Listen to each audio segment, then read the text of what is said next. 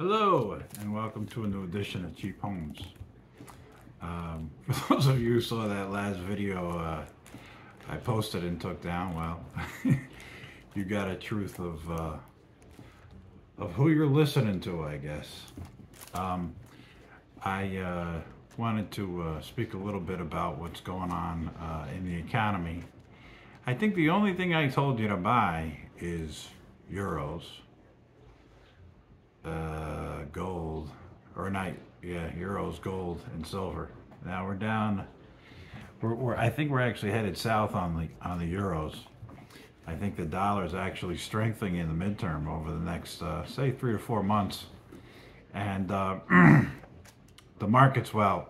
yeah, we got a whole new bubble starting with this AI, which I do have some investment in. Uh, uh, you know, I have some Tesla, I have some SoundHound, which SoundHound is a um, company that does the the audio for AI.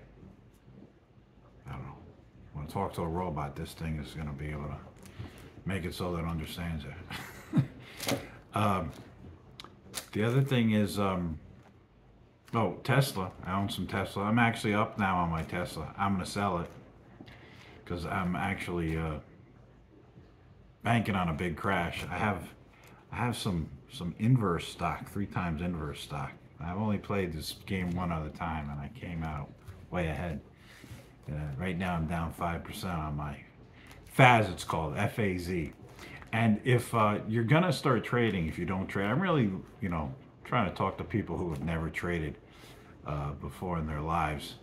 Uh, I would suggest you download TD Ameritrade. TD Ameritrade will give you the best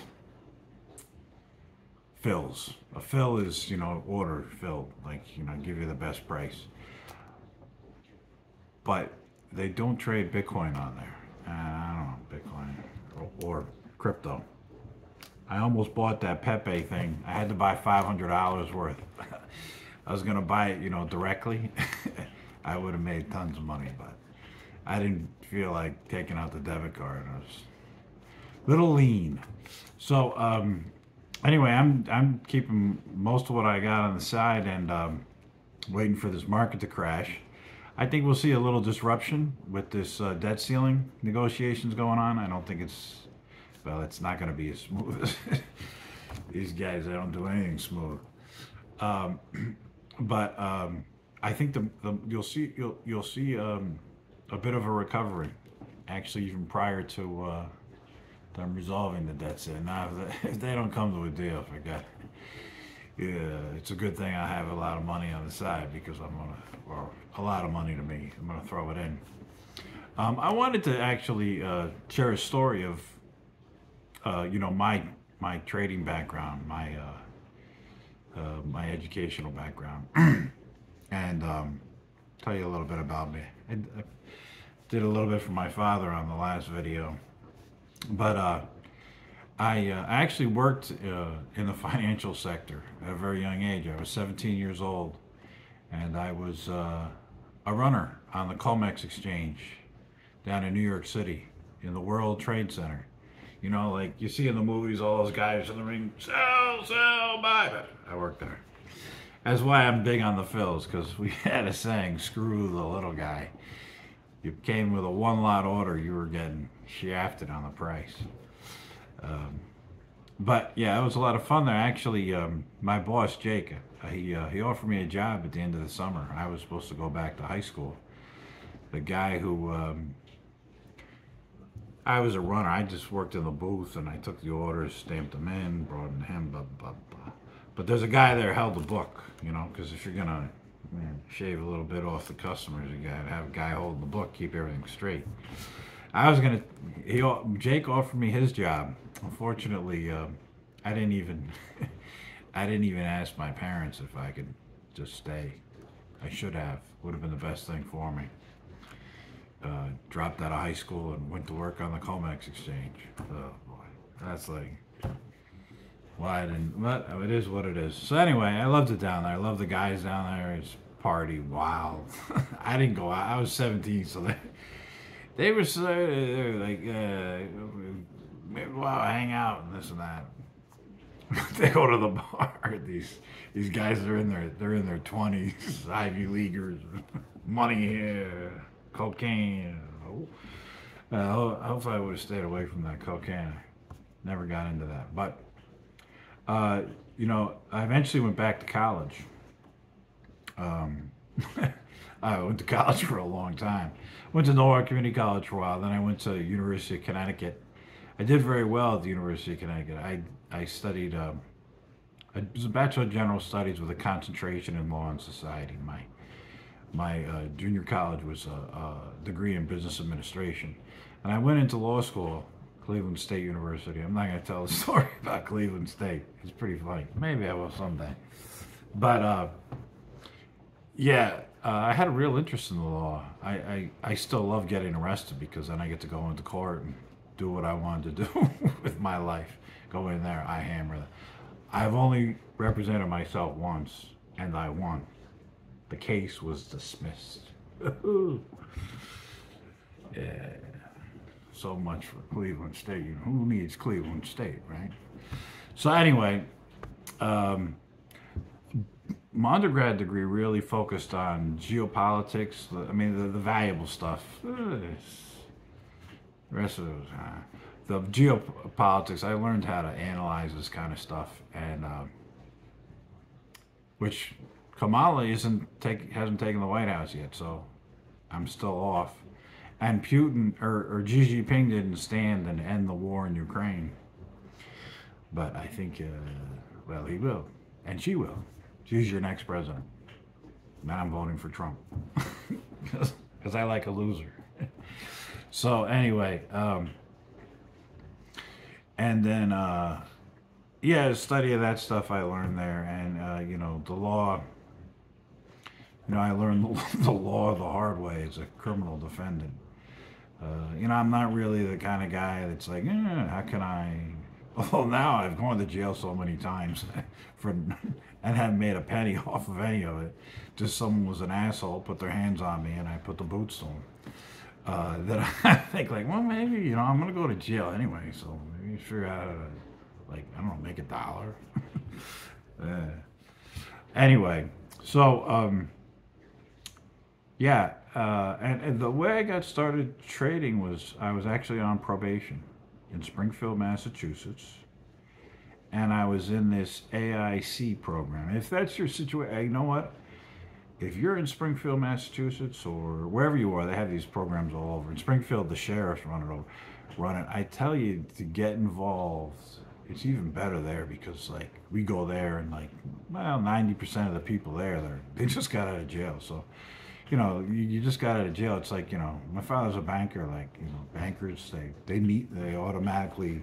It's like match made in heaven but anyway, uh, no, I met a guy there. We were talking and this and that, and um, you know, I gave him some. Um, he was talking about wanting to start a business, and I, I had looked into the junk hauling business, so I gave him some pointers, this and that, how I do it, where I see, you know, you could take it, whatever.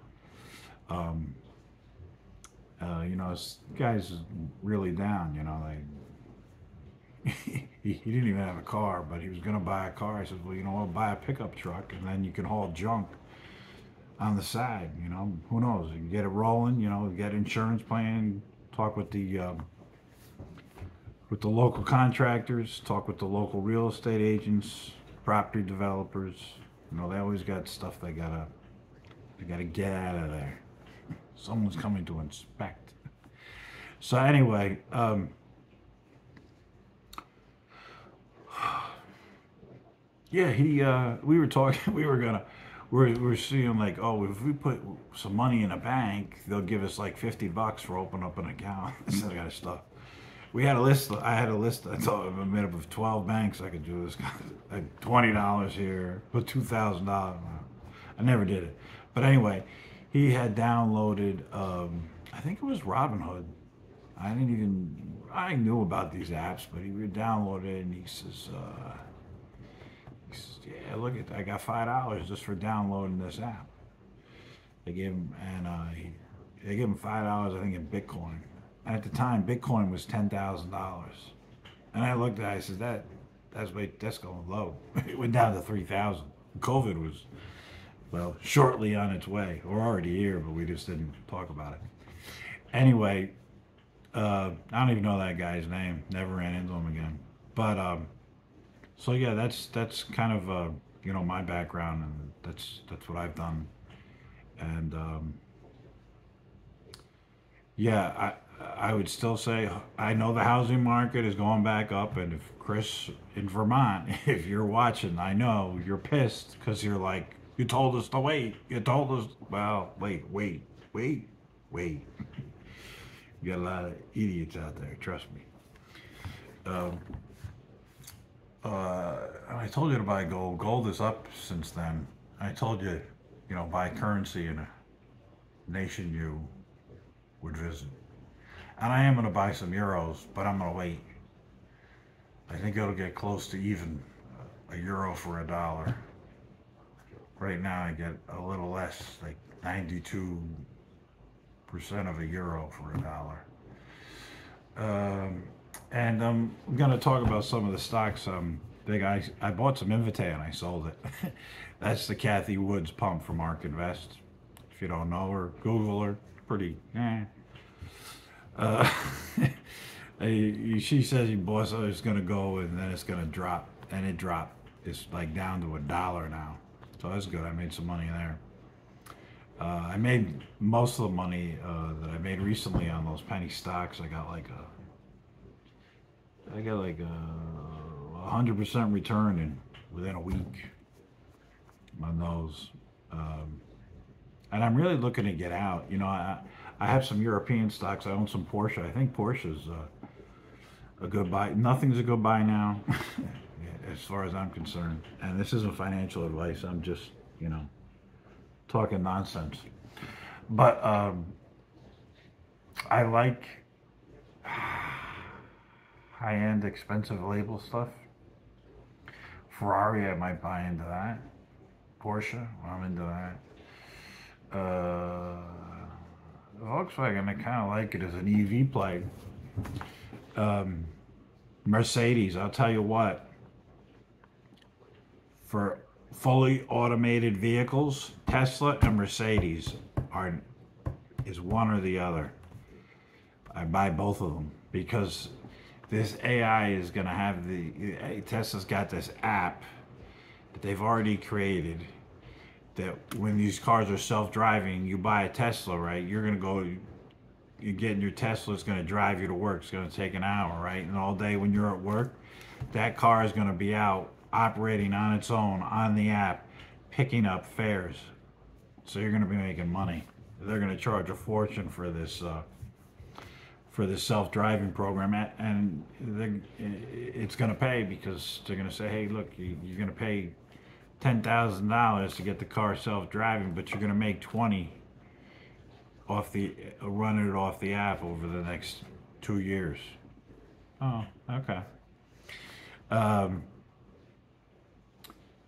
there's some other things I'm I'm interested in, some other things I know. Um, if there's anybody out there that ever wants to start a landscaping business, and I'm talking, you know, like one guy, you want to start, you got one guy, uh, you got a, a pickup truck and a lawnmower. I don't even care if you got a, a four-door sedan, a two-door sedan, with a decent sized trunk, you can put a 20 inch mower in. That's where I started my first landscaping business. But I lost it so many, the business so many times because I kept, uh, well,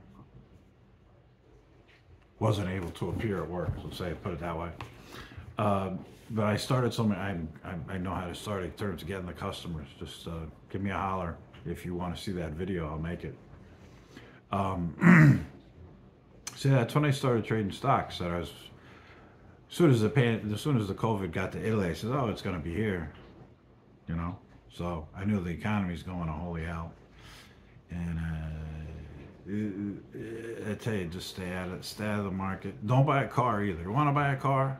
Okay, you buy a car in the fall. You can think about buying a car. Now watch, I'll go out and buy a car. I'll be the one to buy a car. That's how it works. But uh, I told you not to buy any stocks. What do I do? I went and bought stocks. Uh, and by the way, I need a girlfriend to like regulate me, keep me disciplined to do what I say I'm going to do. So if there's any uh, anyone out there looking for a, a position as a girlfriend, uh, let me know. Um, and uh, yeah, so that's kind of where I'm at. Um, I think they're gonna they're gonna come to a plan, but they're gonna play hardball. Either one of them will bend in the end if they have to. They both. They both. They both will. And um, sorry, I'm tired. Um, yeah. So let me know uh, if you want to see that video on starting a landscaping business. I'm actually uh, I've been applying for jobs as a um, truck recruiter, truck driver recruiter, because I can do it from anywhere. And I can make decent money, and I got a plan on where this is going to go. Uh, but I can't get a job doing it. So I'm actually thinking I'm actually gonna. I've learned a lot about it online, YouTube videos, da da da da da. But if I can't get a job here soon, I'm gonna start my own company and just trip over myself. Um, so yeah, don't buy a house, don't buy a car, don't be like me and buy stocks. No, do not buy any stocks. Save your money, bank every penny you can. I don't care if you know um, you you your income is listen. My income's twelve. I make twelve hundred dollars a month, so and I figure out how to save something to invest it because I know if I don't save something and invest it, if today is economically hard, but I spent everything I have today, then tomorrow, I made $300 this week and I spent $300, well, I should have spent 275 and saved 25 bucks and invested it, bought some stock. Uh, Invitae is a great stock to buy. Tesla I like. Indie, SoFi, um,